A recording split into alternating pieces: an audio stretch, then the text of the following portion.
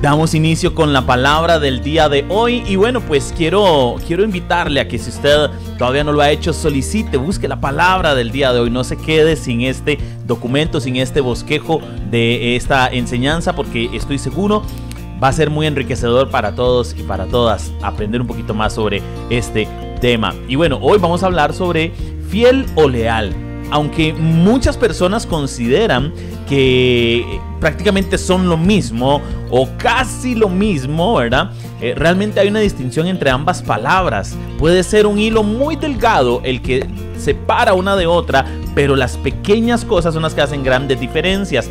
En la palabra parábola de los talentos, el Señor se refirió a un hombre de manera infiel, cuando se lo lee en Mateo capítulo 25, versículo 14 al 30 y ahí me llama la atención porque ya la palabra empieza a irnos metiendo detallitos, ¿verdad? Hablando de ese tiempo actual y la fidelidad para ir entrando en materia, ir conociendo un poquito más, porque si Dios habla de un pueblo fiel, de otro pueblo infiel, si nos vamos al Antiguo Testamento hay mucha base también, pero eh, si vemos a Dios ya refiriéndose entre este hombre me fue fiel, este infiel, este pueblo era fiel, este no, este pueblo era leal, este otro no, si vemos esos detallitos, tenemos que empezar por definir qué es una cosa y qué es otra. Fidelidad es una virtud o actitud o una fuerza que alguien tiene al ser comprometido con algo que asume, sea con una palabra que dio, como cuando dijo, sí, de acuerdo, yo lo hago, o con una promesa, un pacto, un acuerdo.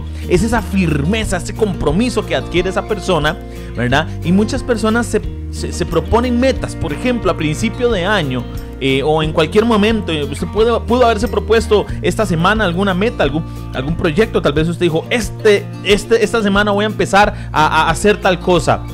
A partir de hoy voy a empezar tal cosa. Y, es súper bien que usted tenga metas, mm, tenga objetivos día con día.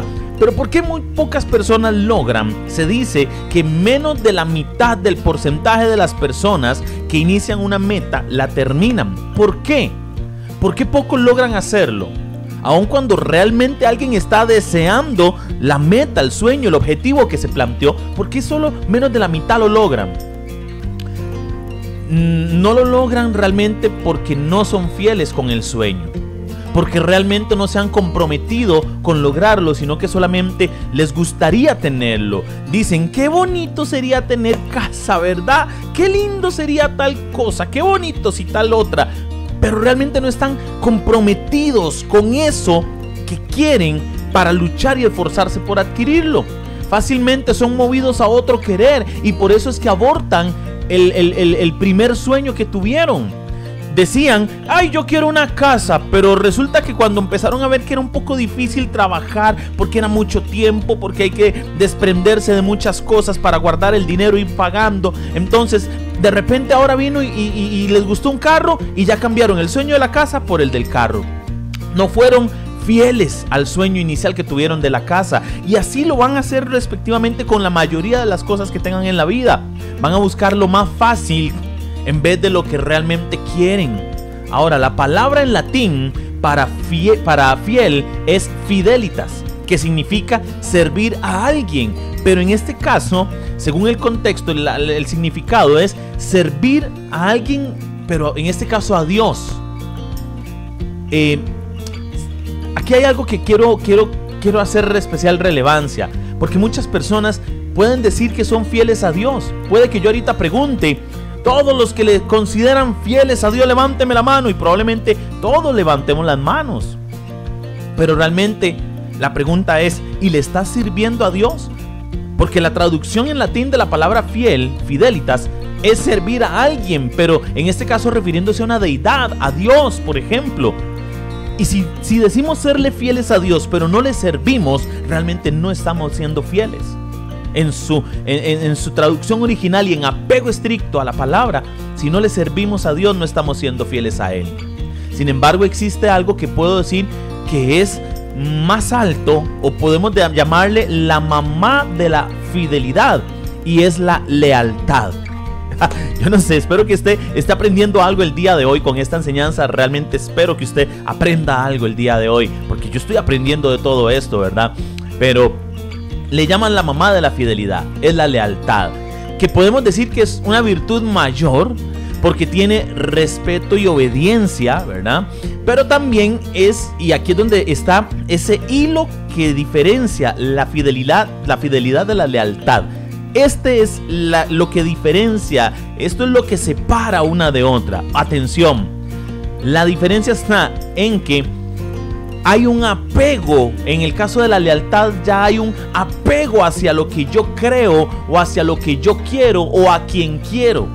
Es la exactitud, dice una definición, con la que ya no es solo lo que yo cumplo con lo que, con lo que yo dije, hay un apego. Eh, ya no se trata solamente de ir y hacer algo, sino que ya hay un apego emocional, hay un amor, un sentimiento, hay una fuerza que nos impulsa, que nos motiva para hacerlo, pero con ganas. Te voy a poner un ejemplo muy claro.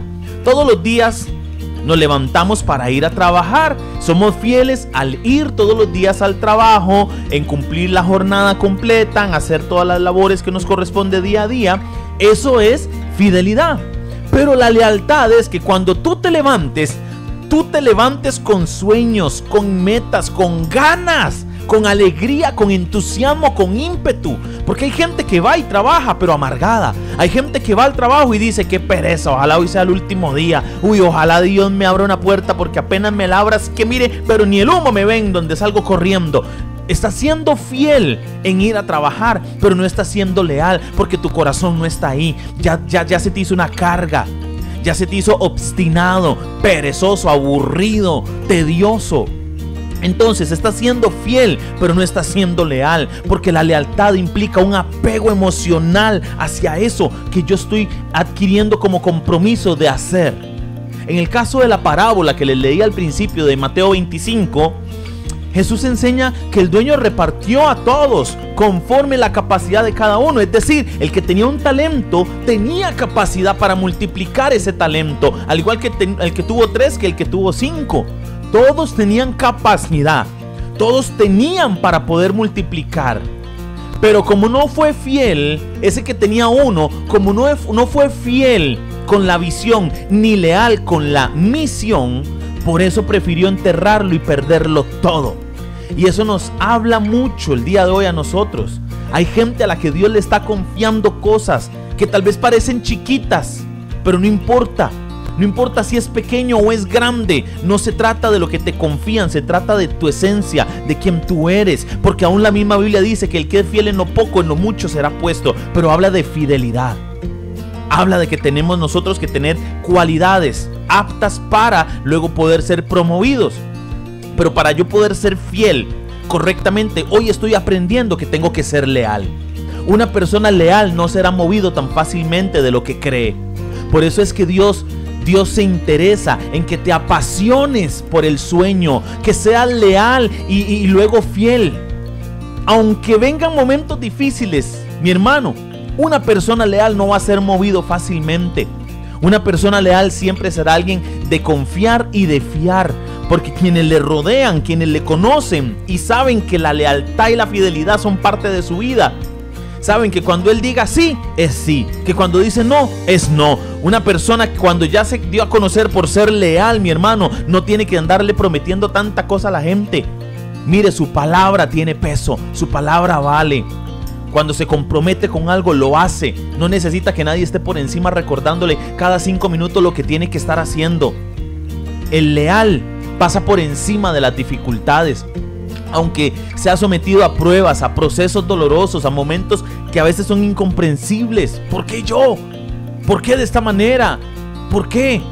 El que es leal persevera porque ama la visión y es leal a la, a la, visión. Ama la misión y es leal a la visión. Pero ojo con esto que le voy a decir a continuación y con esto voy terminando. Todo, todo, póngame atención, todo el que quiera ser fiel primero tiene que buscar ser leal.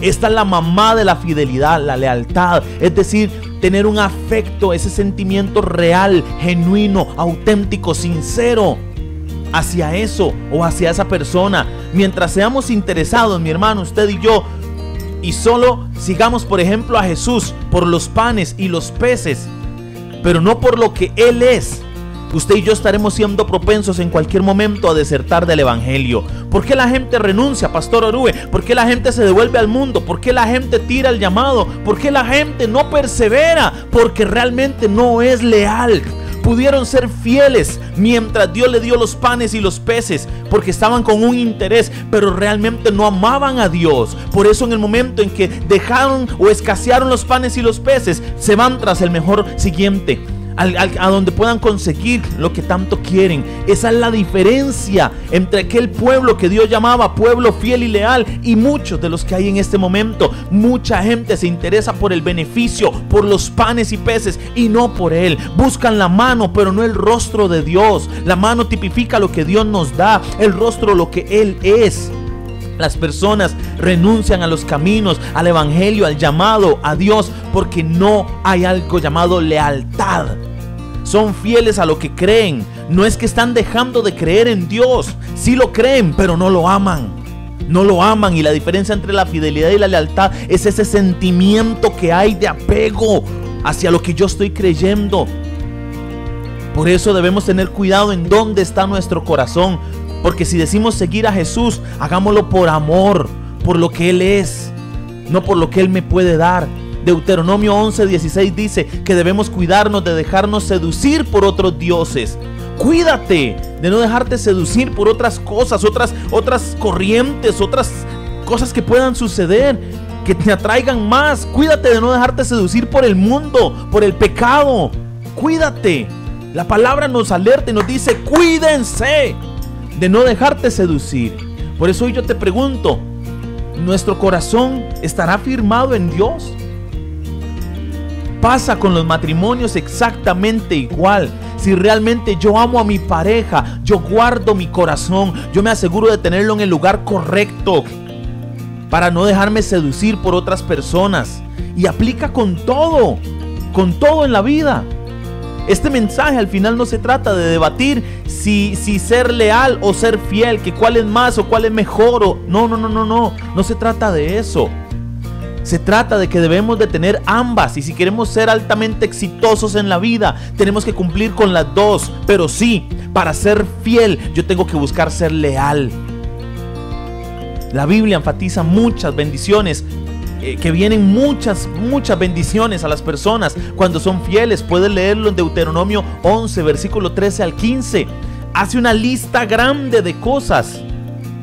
Pero note algo interesante, mi hermano. Es más, se, se lo voy a leer. Deuteronomio 11, verso 13 dice, si ustedes obedecen fielmente los mandamientos que hoy les doy, pero ojo porque aquí está la clave, dice, no solamente ser fieles a los mandamientos, sino que también viene y dice, y aman al Señor su Dios entonces Él enviará la lluvia oportuna sobre tu tierra en otoño y en primavera para que obtengan el trigo y el vino y el aceite. También hará que crezca hierba en los campos para su ganado y ustedes comerán y quedarán satisfechos. Y ahí sigue, ahí sigue mi hermano. Pero nótese que la, palabra dice, sí, tienen que ser fieles a la palabra. Pero luego dice que para, eh, o enseña que para serle fiel yo tengo que amar a Dios. No poner la mirada en lo que Él me va a dar, sino en quien Él es primero. Esa es la clave, mi hermano. Esa es la clave, mi hermana. Y hoy yo quiero que podamos aprender juntos esto tan importante. Que decimos serle fieles a Dios, pero le estamos sirviendo. Segundo, ¿le servimos por interés o realmente le estamos amando? Porque entonces si no, ya dije cuál es la palabra que nos caracteriza. Interés, no amor. Cuando yo amo a Dios, sea que me dé o no me dé, yo decido seguir adelante, como hicieron aquellos jóvenes Sadrach, Mesach y Abednego. Dijeron, pues si Dios nos rescata, gloria sea Dios, pero si no, igual no nos doblaremos ante ningún otro Dios ni ante ningún rey. Eso es lealtad. Eso se llama lealtad. Y eso es lo que Dios busca en este tiempo. Más que muchas veces solo fidelidad. Dios quiere lealtad. Que tú le ames, que tú le sirvas con pasión, que tú no veas el servicio como una carga, que tú no veas el congregarte como una carga, sino que tú te apasiones por la casa, te apasiones por la obra, te apasiones por la visión y por la misión que Él te encomendó, que tú le sirvas con amor, como usted se apasione con Dios, en cuanto usted se apasione de Él, mi hermano, usted podrá sobrellevar cualquier prueba que se le venga encima. Pero si no es así, lo que va a pasar, mi hermano y mi hermana, es que entonces quedaremos solamente con fiel mientras tengamos el beneficio. En cuanto no lo tengamos, nos dejaremos seducir por otros dioses, como dice Deuteronomio 11, 16. Que Dios nos guarde, que Dios nos cubra y nos proteja de caer en este mal, en este error, en el nombre de Jesús. Pero si usted dice hoy, Señor, yo quiero serte fiel, yo quiero serte leal, ¿Qué tal si se lo pides en este momento? ¿Qué tal si cierras tus ojitos ahí donde tú estás y tú le dices, Señor, enséñame a serte fiel, pero también enséñame a serte leal? Que pase lo que pase, mi caminar no se tuerza, que yo sea íntegro, que yo sea el mismo en todo momento y en todo lugar. Pase lo que pase, venga lo que venga, suceda lo que suceda, que yo pueda ser leal a ti y leal a todos en el nombre de Jesús. Amén.